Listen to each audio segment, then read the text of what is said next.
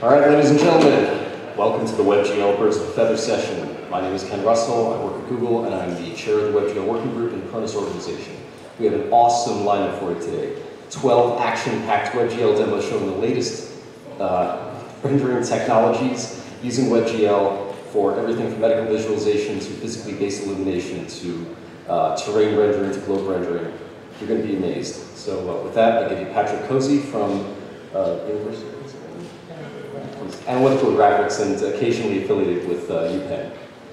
So my name is Patrick. I'm a software developer at AGI, and we've been using WebGL to develop an open source uh, virtual globe map. Then I'm going to show you guys a few demos today. Okay, so what we're looking at here is about 900 satellites. These are all the active, unclassified satellites in our database, and we're propagating them server side, and we're streaming them down to the client. Um, the ones in blue have line of sight to a satellite or to a facility on the ground. And we're doing a same thing you do with streaming video where we're, we're uh, prefetching and we're batching them together. Uh, on the rendering side, we're doing a single draw call for all the satellites, uh, just batching them up and then expanding them in the vertex shader. Um, there's these sensors down here that show kind of camera fields of view where the satellites can see. And the intersection of those and the ground is done in fragment shader. And then finally, for picking, we just do standard color buffer picking, where you can get more information from particular satellite. All done in WebGL. It's very, actually very light on the GPU. Okay. Uh, the next one I want to show. Here, this is a reconnaissance mission for UAV flying in the Persian Gulf. So here we see Global Hawk and some ships, and that's maintaining downlink to a com satellite up top. And then this, the, um, excuse me, the uh, atmosphere here is shown on the Gens 2 work. And then we can convert this to what we call Columbus view. So this is like a two and a half D view. Um, same API, it's just one line of code to do the morph. And we can also morph it into 2D.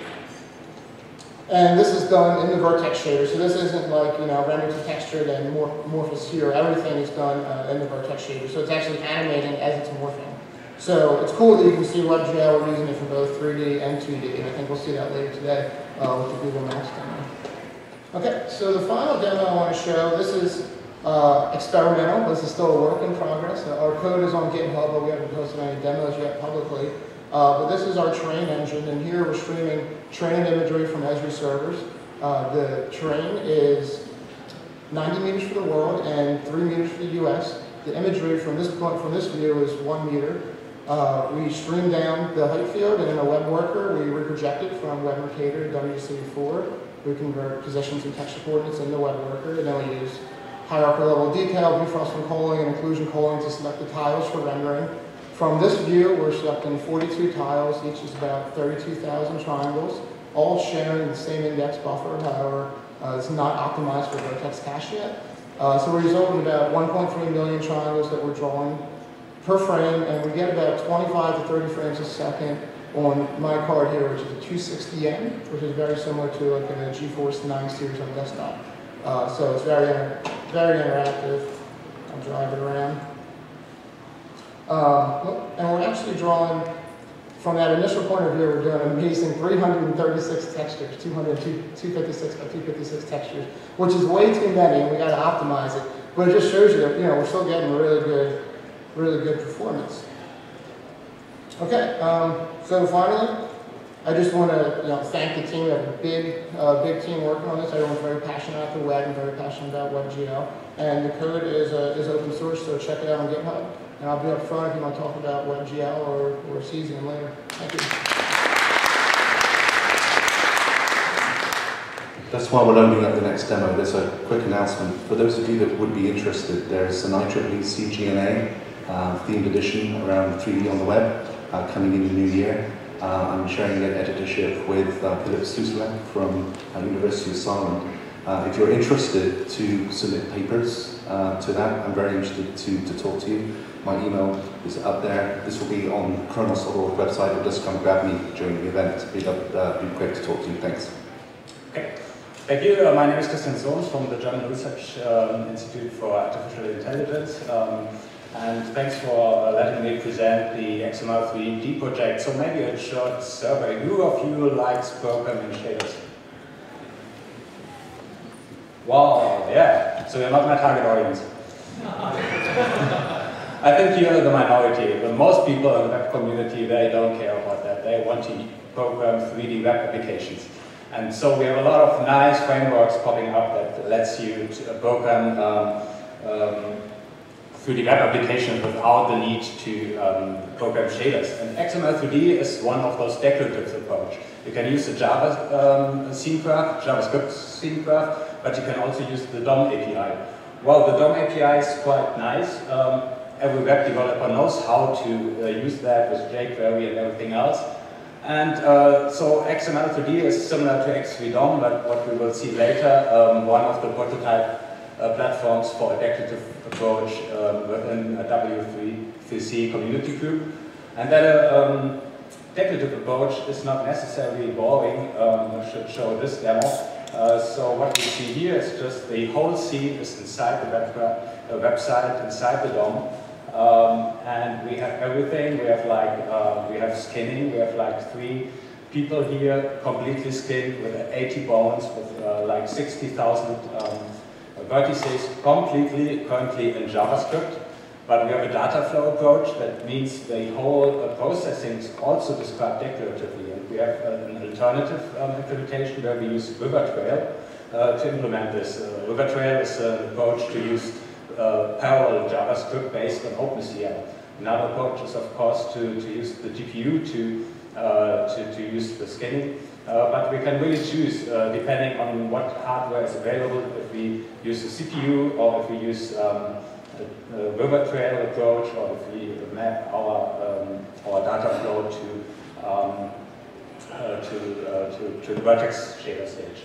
And uh, maybe as a last thing, um, I'll show how easy it is now to, to program a 3D application. So you see here um, is, is, a collision map that's uh, used in this, uh, in this demo. So you see the rooms of the museum, and as soon as I come, uh, it's loaded to the HTML canvas, and it reads out the position where I am in the museum, and as soon as I come close to, uh, to some of those uh, blue bubbles it just gives me a JavaScript callback and I can change here the text or anything else. So it's, and this, this has done a student who had no 3D experience at all. So it's really easy now to really um, program new kinds of uh, web applications. Thank you.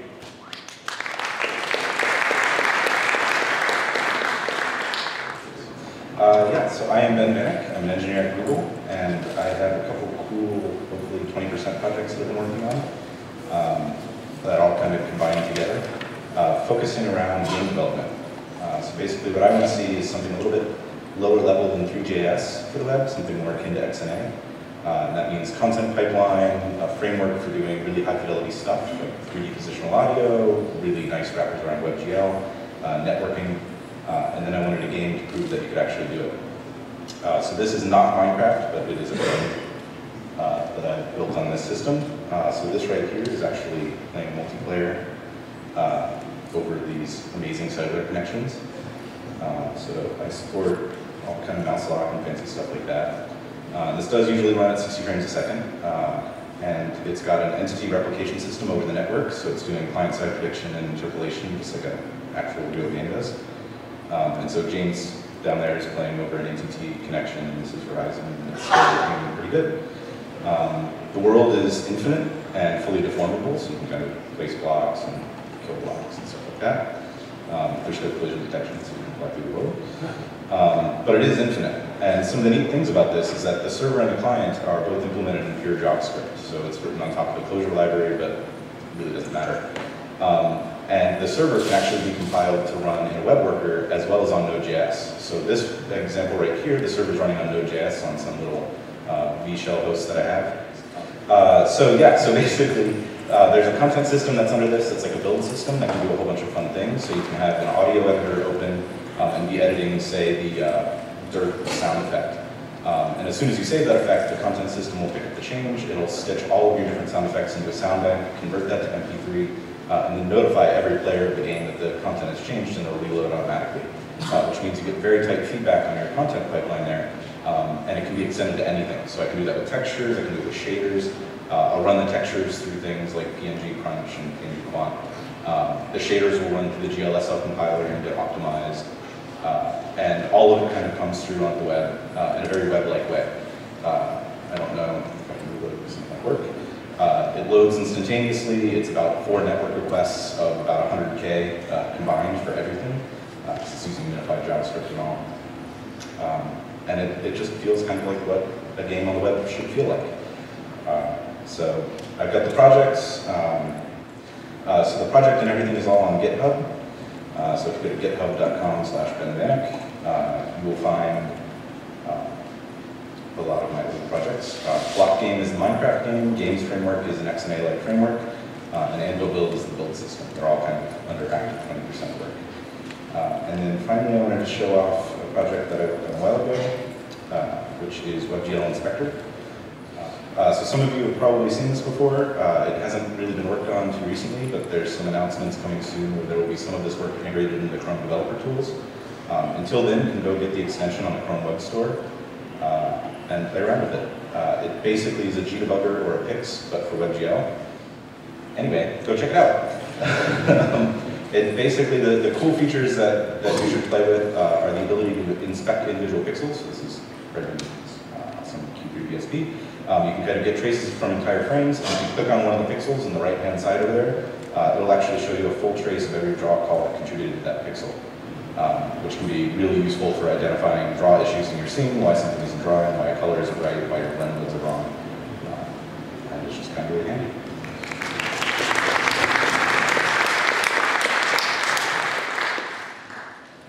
Hi, my name is Won. I'm also an engineer at Google. Um, uh, for a long time, I've been working on web search, but uh, you may, if you're familiar with uh, Google Body, which was a Google Labs project, uh, late 2010, 2011, um, I worked on I worked on a pretty important piece of infrastructure there, which was the mesh compression. So uh, unfortunately, I won't cover that, but I will. I did open source the project, uh, particularly the mesh compression part.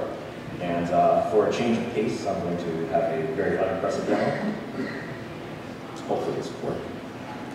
Uh, oh wait, here it comes. This is a good demonstration of a slow internet connection. yeah. Always have a backup. there, there we go. All right. Okay, so this isn't uh, this isn't like super impressive because there's no like fancy shading going on uh, or anything like that. But um, what we did for Google Body was we had this problem where we had a ton of geometry, and we didn't really we couldn't figure out a good way to load it very efficiently. Uh, so what I did was I came up with a simple mesh compression format. Um, and uh, the details which I can't really get into in, in five minutes, uh, five, five minutes, but um, the, the gist is, is that the browser already has a bunch of things that kind of like look like the building blocks for compressors. Uh, you can sort of think about UTF-8 text compression as a form of a variable length integer encoding.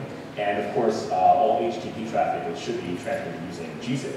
So uh, between the two of those, you can uh, you, you, basically can get very, very, very tight, uh, progressively downloadable uh, geometry. So compared to other approaches, it's you basically get binary-like performance but you can also uh, stream, you can also pipeline the decoding because you can respond to on-progress events. You don't have to wait for an entire binary blob to show up uh, and stuff like that. And since the data is compressed in the first place, you know, you don't, you're not really, it's not really an extra cost to uh, copy from, you know, a string into a, uh, into a typed array.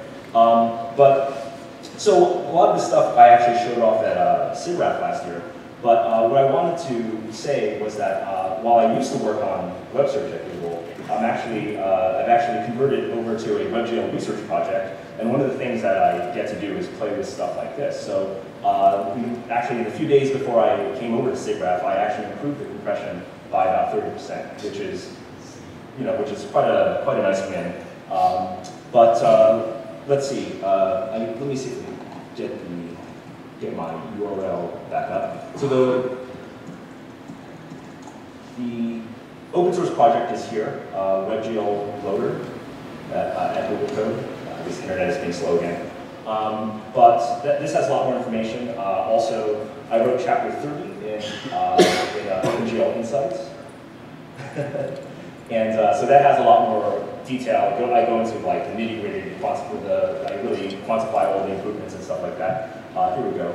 And uh, there's live demos and, and such and, and code, and I think there are probably people in the audience I've uh, collaborated with. Uh, I'll be here, I'll be at the OpenGL off and at the OpenGL party, so if you run into me, I'll be happy to talk to you.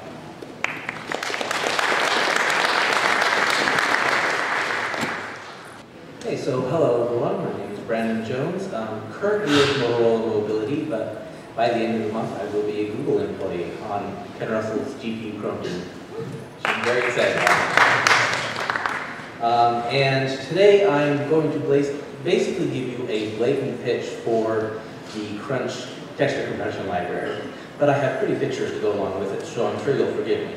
Okay, so uh, what this is, is a uh, WebGL rendering using resources extracted from the iOS version of id Software's Rage. This is not the desktop version, um, but it still is something that's fairly nice to look at. And uh, Rage is an on-rail shooter. You'll notice that I'm not actually um, directing it at all. It just follows a predetermined path through there. And this actually creates a really interesting performance characteristic where as it's walking through the level, in order to get kind of the mega texture, virtual texturing style rendering that uh, you see in the full PC game, uh, it is continuously streaming down a set of 1024 by 1024 texture atlases that it then applies based on your distance to any given mesh. And we can kind of see that visualized here. If I turn off texturing, uh, you'll see that as we walk through the level, the different meshes, uh, what's being visualized here is the UV coordinates, and they change as we move around as the different textures get applied. So it's a very brute force, but fairly simple and really quite effective method. Um, one of the big problems with this, however, is that in this case we've got um, something like 759 different JPEGs, which are all about 100, I think 157 uh, K a piece. And while they're, well, 159K a piece uh, on average. And while they are pretty small on disk, they actually expand to about 3 megs in the GPU. And so this causes some performance issues. You'll see down here at the bottom, um, I have the upload time for each of these textures printing out to the console. This is just the time that it takes to complete the GL uh, text image 2D call. And you can see here that we're getting things like 16 milliseconds, 19 milliseconds, so on and so forth. And in the 60, uh, 60 hertz scenario, if you take 16 milliseconds for a single upload call, you have dropped at least one frame worth of rendering, and that's not something that's desirable. So we need to move away from an uncompressed image and into something better. Now, DXT provides good compression, and it creates a much smaller uh, memory footprint on the GPU and has faster uploads, but the DXT textures themselves on disk are actually larger on average than the JPEGs.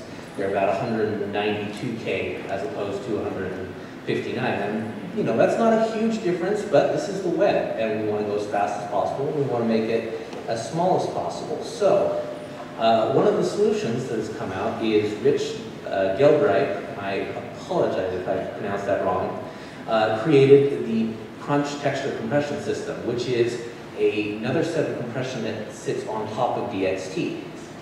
And uh, then Evan Parker from Google applied uh, the original C++ decompression library that he built uh, through emscripten, which is a C++ to JavaScript cross compiler, and was able to get that running in WebGL. So I can switch over to using crunch textures now, and um, you'll notice that at the bottom we're now getting a separate set of, of numbers. One is the upload time, which is coming back as zero milliseconds, because the textures are actually a 16th the size of the JPEG in memory, which is great. But now decompressing, uh, sorry, restarting the level, uh, actually takes, uh, on some systems it's about the same time as a JPEG decompress, but in this case it's actually worse. We're getting about 48 milliseconds per decompress, which is causing a lot of pitching. Um, but the, the key to all of this is because the decompressing is being done in JavaScript rather than being pushed off to the GPU, we have the ability to move the decompression off onto a worker and now everything goes smooth. Uh, and you can see down at the bottom, we're getting this continuous set of zero millisecond uploads. and this is performing much better. Uh, we're not getting the issues that we had from JPEGs. Uh, there is still one outstanding issue here in that the EM build does tend to create a lot of garbage, and so the garbage collection cycles here are more expensive than they otherwise would have been with just native uh, JPEGs or PNGs. And that's what's causing any remaining hitches that you get here. You can connect each of those directly to a garbage collect cycle. But regardless, using the Crunch library in this particular scenario where we have a lot of texture streaming into the scene in real time proves to be a big win for performance, and I encourage all of the rest of you to look into it as, um, as you can.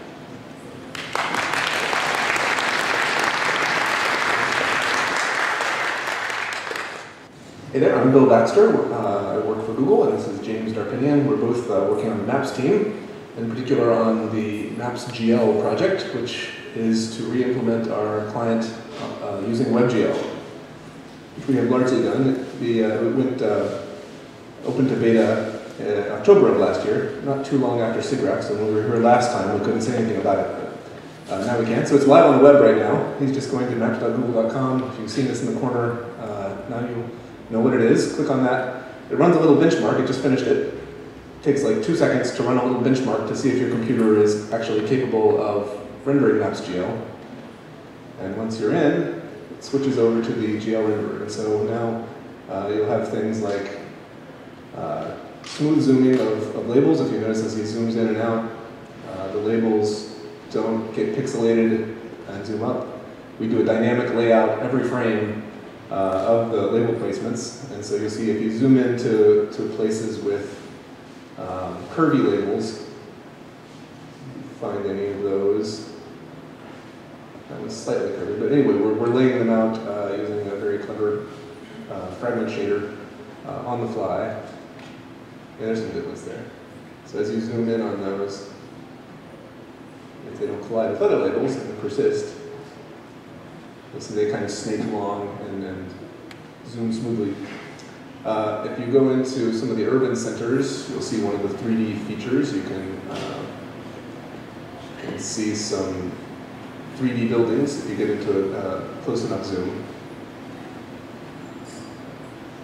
And so these are now using some of the same data that's uh, surfaced in Google Earth, some of the 3, 3D warehouse data. A lot of these are just 2D footprints, but um, certain difficult to model buildings like the, uh, the Space Needle or the Eiffel Tower or uh, the City Hall here. The Transamerica Pyramid doesn't work well as a, as a simple 2D footprint. Uh, it's extruded. Um, and if we go into satellite mode now, you'll see as we zoom in, we've had this oblique data for a while uh, that's captured by airplanes flying at low altitude. Um, you see this transition that's also done using WebGL, sort of smooth transition uh, from the obliques. We're also doing uh, depth reconstruction uh, using multi-view stereo to reconstruct some depth for these. So also, uh, one thing we can do with this is when we rotate, uh, the depth gives us a little way to give you some context as the buildings rot rotate around. Uh, and previously, we had this oblique data in the maps, um, but when you switch from heading to heading, it just sort of flips suddenly, and so you kind of lose, you become disoriented. And so it's a nice thing that WebGL allows us to do. Uh, if we switch to a nice tourist destination, like should we go over to Paris? Uh, the 3D model of this in the maps mode is pretty nice too. Nice thing there. And then um, something we have integrated recently are these things called photo tours. And these, uh, there's some research about this at ICCP or ICCD, of vision conferences uh, with Furukawa and uh, Sameer Agarwal. Um, basically what this is doing is taking photos from the web, uh, just publicly available photos. You can see down in the lower left, it says what the source was for each photo. This, these are from Picasa. Uh, and it just uses the geotags in them to, to find a cluster of images that are all looking at the same famous monument, or Notre Dame in this case, and then they use uh, multi-view stereo to reconstruct 3D from all those uh, user images.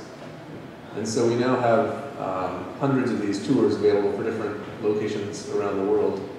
And I think that's about it. I was gonna, I have a few slides that, that, that will be on the, on the wiki page about some of our development practices, just some, some basics of what we do. We have, uh, we use the closure library. We came up with this, um, this shader compiler that will minify your shaders and do some dead code elimination. And uh, it's, it's also the one that Ben Vanik mentioned. He's using the same, the same one that, that we came up with. It's open source. Uh, you can find it as part of the GLSL unit project.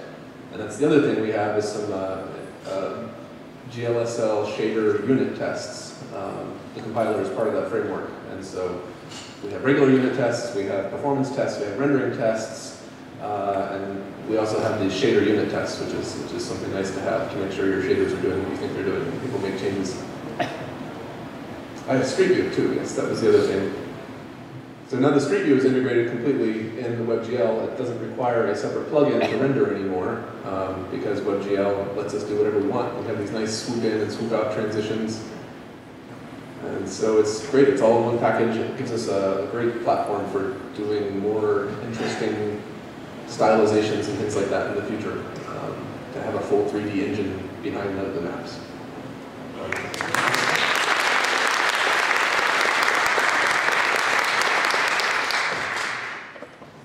Hi, my name is Fabrice Robinet. I work at Motorola Mobility. And it's a bit challenging to do a demo about what the file format after this great, great, great demo. But anyway, we try to make it a bit fancy than usual file, file format things. So I work also with um, Khronos with the uh, Collada working group. And one of the discussion was to uh, bridge a gap between uh, WebGL and, and Collada.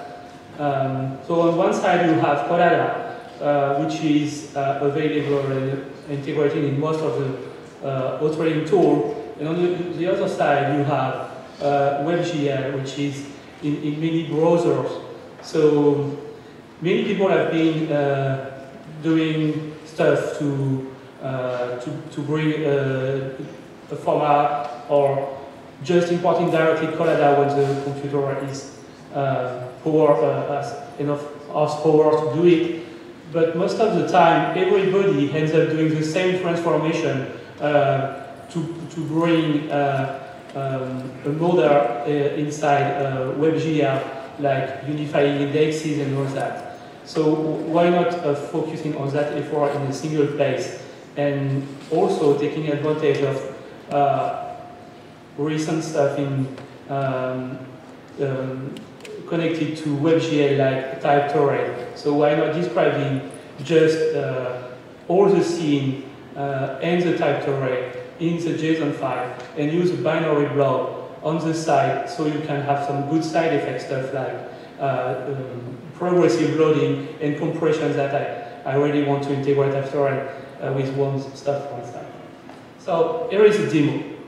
Here you see uh, a model which was loaded uh, progressively, but we, we can adapt thanks to the separation between JSON and the binary blob and, and load very slowly if, if we want to because of the, of the, of the bandwidth. So it will appear progressively, but since you have the JSON already with all the information, you can choose the bounding boxes and have a, a much, much better feedback for, uh, feedback for the, uh, for the user. So you can tweak the loading as much as you want. You have a lot of granularity within the format. Uh, you can point to a, a, single blob to hold all your vertex and indices, and it's up to you if you want to declare them entirely or not. And if you want to, to just bind on single uh, index buffer and change the offset uh, inside it, it supports all that.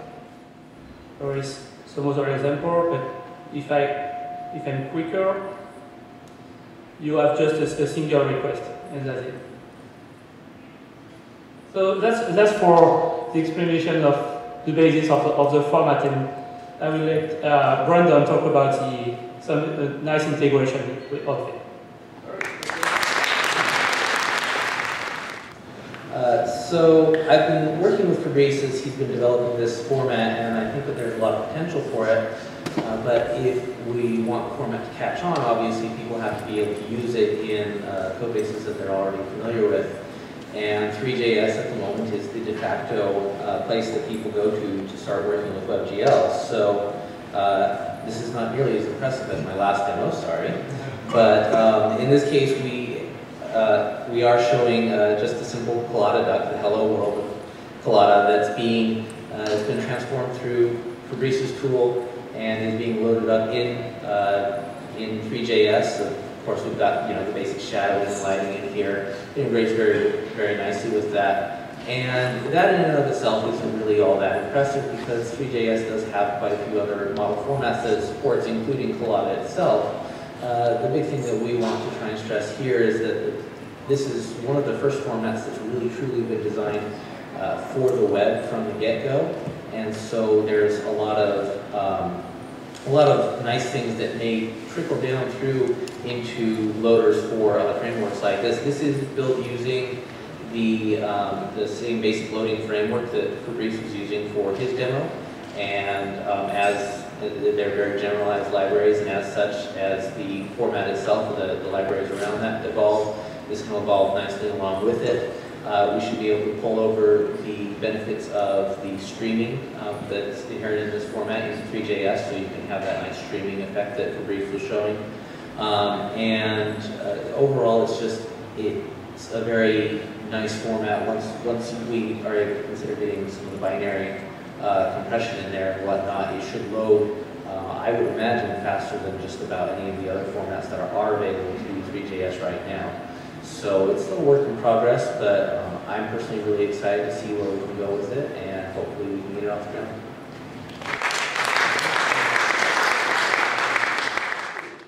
I'm Fabien Cellier, I'm a PhD student to Lyon. I think you can hear that. Lyon is uh, in France, in fact. I work on something which is uh, the Géoportail for uh, IGN, Institut Géographique National Français, and uh, Atos Worldline. You can search on Google uh, Géoportail uh, and you have some uh, demonstration.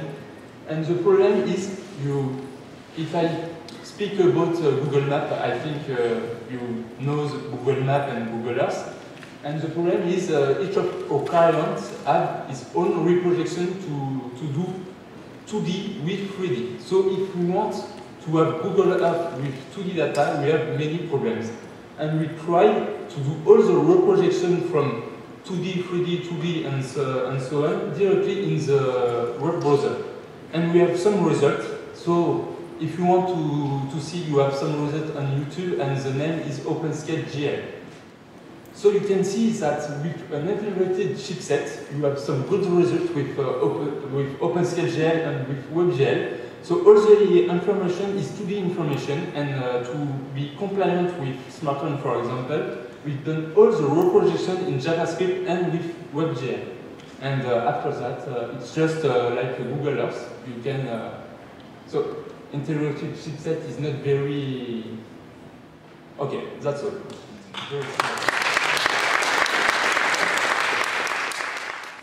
Hi, I'm Ben Houston um, from ExoCortex. Um, we're the ExoCortex team. We uh, help artists achieve their artistic vision. Um, so we've been doing this for quite some time. Um, we've had a lot of success at doing this. Um, let's see. Uh, this is just some of the client images we've done. We usually do high-end VFX, so we helped out uh, our clients with Avengers, Harry Potter, The Amazing Spider-Man, Titanic 3D uh, just recently. Um, so we understand this space, and we, we understand the tools. But I guess one day uh, we were thinking, well, could we make some of these tools in the browser? Um, with WebGL, it might actually be possible. So we, we thought about it, we did a lot of design work, did a lot of research, and I'm going to show you what we came up with. So this is um, from our professional background. Um, sorry, I'm nervous, but so one, two, three, there we go. So this is a professional grade tool. Um, it's extensible. It's uh, we already have uh, third-party developers developing for it. Let me just show you. Everything here is a plugin. Um, all the commands are plugins. All of these primitives are plugins. We have lights. Um, I'm a programmer. I'm going to make some programmer art and show you how it works. I apologize. It can actually do better than this. Just give me a moment. Hands a little shaking here. Here's the sphere. Um, we come over to the operators. You can see that it's generative. This is a generative framework. written fully in web standards. I'm going to reduce this subdivisions here so we can see it. Let's drop this down from realistic to wireframe. Um, I'm going to reduce it even further. I'm actually quite so I'm not good at this. Um, let's bring this actually full screen here. We can see that's pretty reduced. One thing that artists often do is they want to do something called subdivision surfaces. You'll actually notice this is not a triangle mesh, this is actually a quad mesh that you're viewing here. Um, I'm going to come here, I'm going to actually add a modifier. We're going to go subdivide. We're going to add that to the stack. Now we're going to increase the subdivision. It's actually really quick. This is great. Like I didn't know web technology could do this. Um, and then, uh, yeah, let's see. I could add a camera. Actually, no, let's just go to the next one. So here's the Collada duck. We imported this, um, and you can see that we've got material support. Um, this time it's actually a tri-mesh that we're supporting. Um, let's, uh, actually, this is not that interesting. Let's go to the next one. Here's a tiger. Um, here's, here's a car. This is actually a really high model, and we're actually going past the, we're actually going past the um, index buffer limit because they're only 16-bit index buffers, but we, we have technology to go past that without using any extensions because we want to stay as, as confined within the base standard as possible. Um, and actually, this is really performant. Like, things are fast. Um, here is a Buddha. So in this case, we have, uh, many of these uh, DCC tools will have a default light at the viewport. We have a default light here. This is being lit in real time. I'm going to push the middle mouse button. Sometimes it makes me go back. Go back. There we go. Okay, so this does work. You can see the highlights are changing. And I went back, of course. Sorry, let's go forward. I'm actually going to reload that. One, two, three. It's very quick. We have been really working on, on uh, performance. I'm going to reload the Buddha. So what's nice is this is not only a DCC tool, but we've designing it within the, the philosophy of Google Docs. So we do have all of our changes are streamable to um, a web server. Uh, we're running on Node.js.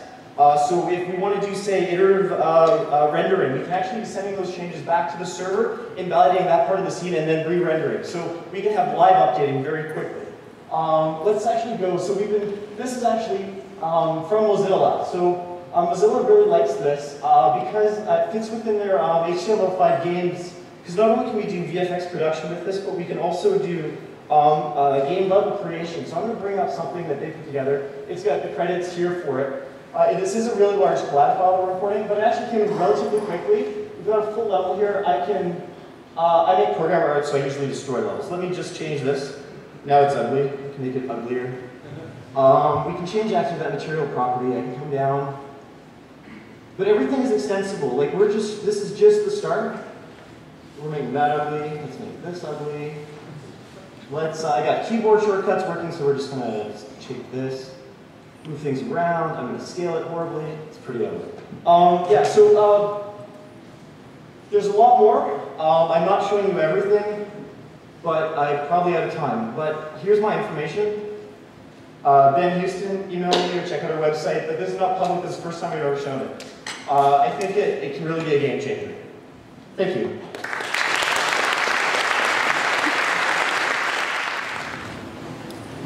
So um, again, I'm one. Kristian told already about this crazy group that tries to get 3D directly into HTML, and I'm one of those guys. And my name is Johannes Behr, and a couple, a couple of other people uh, worked, or they refined binary uh, encoding we're working on for the Freedom System we uh, demoed last year, and we improved a couple of numbers, so we are really down to about fixed, uh, usually 5 byte uh, per triangle and even improved the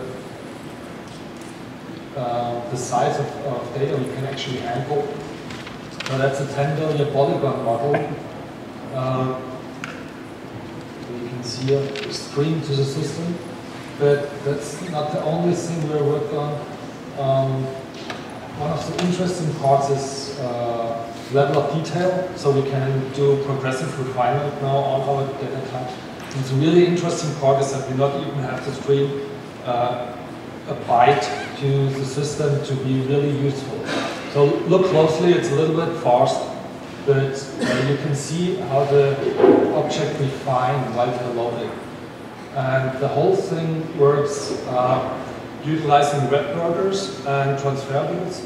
So it's really neat that in the WebWorker actually the packages are built and then the final typed array packages are handed over to the rendering thread. So again, for example, this landing gear, which also is about 350, 500 uh, million. But again, the famous Buddha, which uh, streams with this level. So LOD is something we working on. It's really nice. But uh, and the final thing I would like to show is the idea of this priority-based rendering. The idea is that we have all these hundreds of links to external binary packages that we stream to the system, and there's a, a nice little heuristic that decides what actually should be streamed. So what's in the view frustum, large reports, stuff that is important for the application, so you can get some semantic thing. But now we even support that we do external decisions on this uh, um, to decide what system should be loaded or what patches should be loaded next. And here's a little diagram. There's a, um, a culling server and an asset server involved.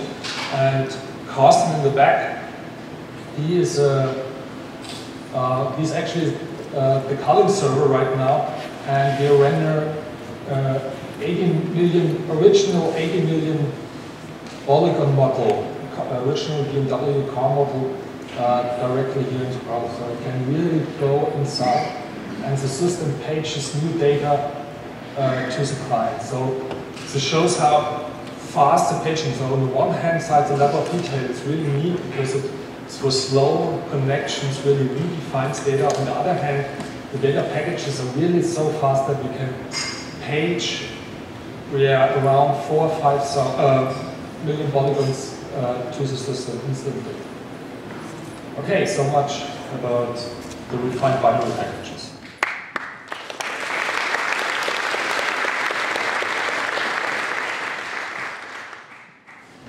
Okay, so I'm Luis Kabongo, I come from Vicomtech. I work in a private research center in the north of Spain, and if I can get the projector to work, I will show you what we do. Okay, there we go. So last year we presented work on volume rendering based on WebGL. So basically, in simple words, what we did is instead of having a huge volume loaded into a 3D texture, which is really not uh, going to work with WebGL, we patched all the different slices within a single texture. So we were able to achieve this kind of volume rendering by doing by implementing the corresponding shaders. So this is a black and white volume rendering. Each value of the of the volume is actually uh, addressed at a gray level, which is the original value.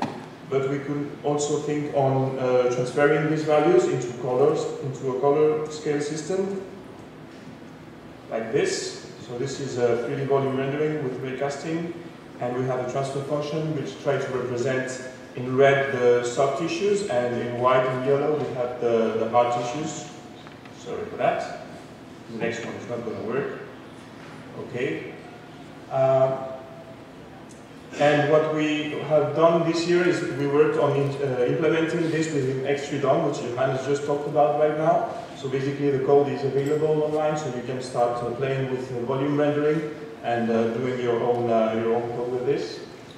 And one of the cool features of this is that we can actually, instead of mapping this texture, which is a static value texture, to the, to the volume rendering, we have by very simply changing a tag within the definition of this web page, we have uh, connected it to, um, to a video.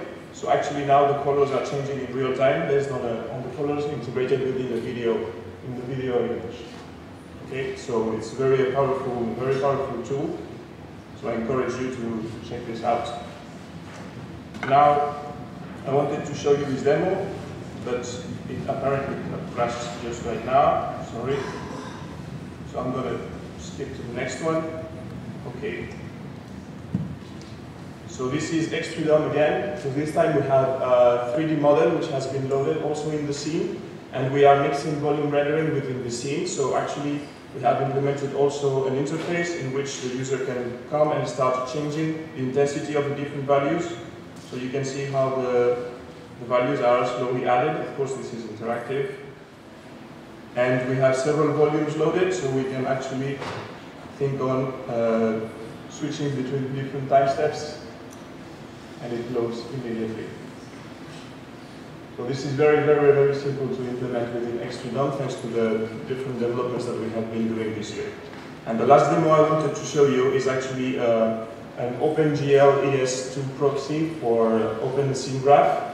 So actually, you, the basic idea is that you can implement your OpenSceneGraph within C++ and, uh, and uh, make it compatible with OpenGL ES2. And then uh, with our solution, you can actually have a web interface directly on this.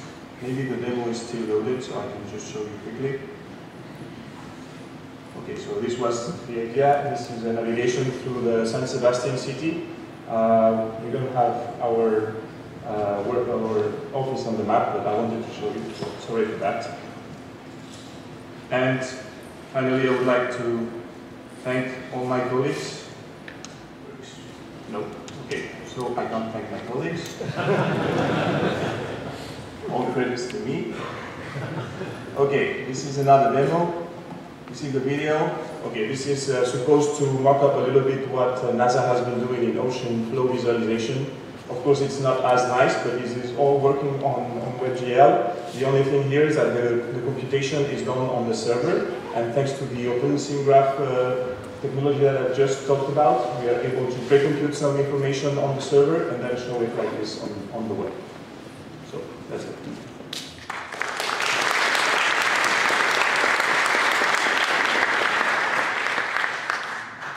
So my name is Dov, this is Tiago uh, from the company Team-Up. We're also working, uh, like most of you, on doing really useful tools in the browser, and we think, like Ben, that uh, WebGL progressed to the point where you can now do real production tools uh, in the browser. So things that were formerly done uh, are limited to something like a Google Docs. We think you can now uh, start servicing the real content creation space.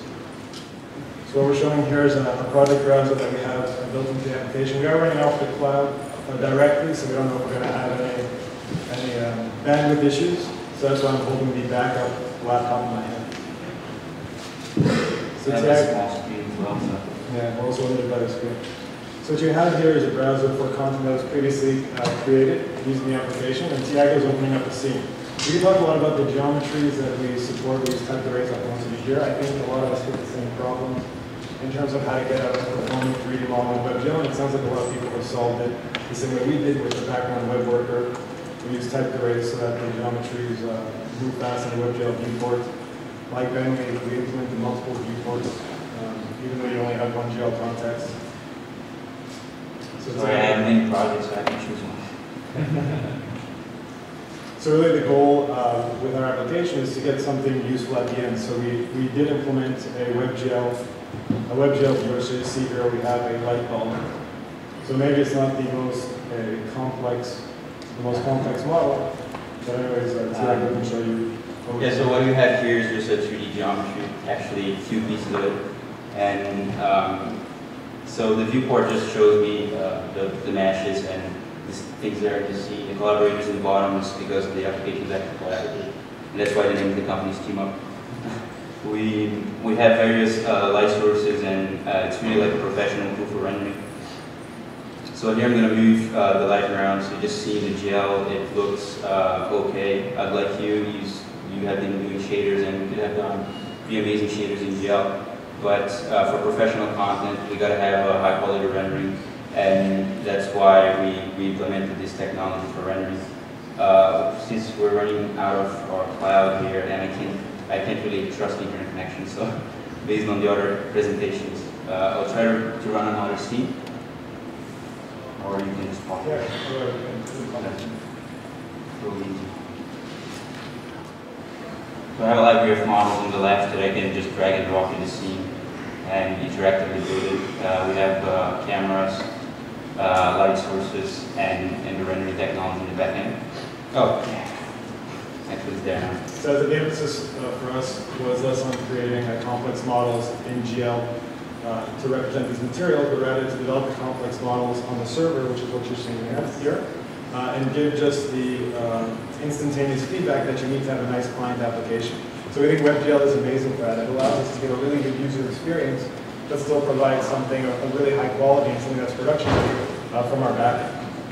So there are some materials, the, what you're seeing is, a, is an optical-based uh, rendering solution.